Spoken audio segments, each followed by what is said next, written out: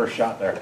Yeah, it was a lot of a lot of nerves at first, but nice atmosphere, and I was just trying to just find my groove and just find my shot. That's all.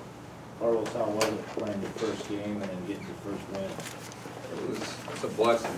So um, we we worked hard all summer and all off season to get to this point, and if you be true to the game, the game will be true to you. And that's what we do. Jalen, what's it mean to give coach his first college win?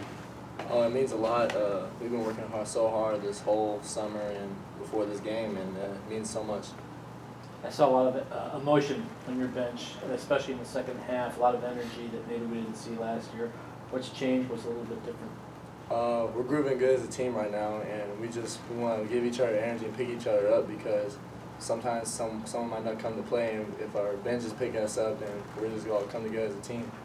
Does it make a difference later in the game? I know you guys rotated in. I think nine guys had more than uh, double-digit minutes. Did it make a difference having that many guys involved late in the game when, when maybe you need a little bit more energy to, to break those that closer game?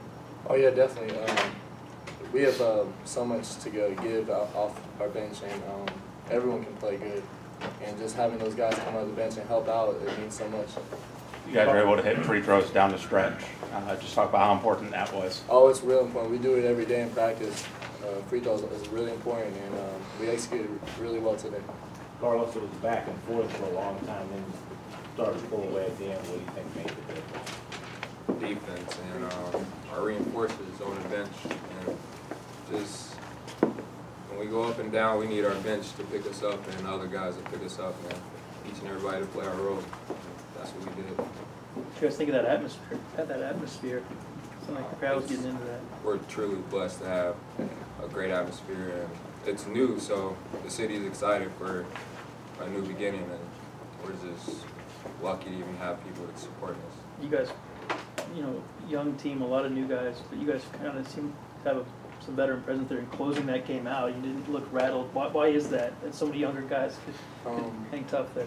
just during executing practice, we just put ourselves in situations so when it comes down the stretch, we can execute. That's basically it. Thanks, fellas. Thanks, guys. Thanks, guys. Good luck.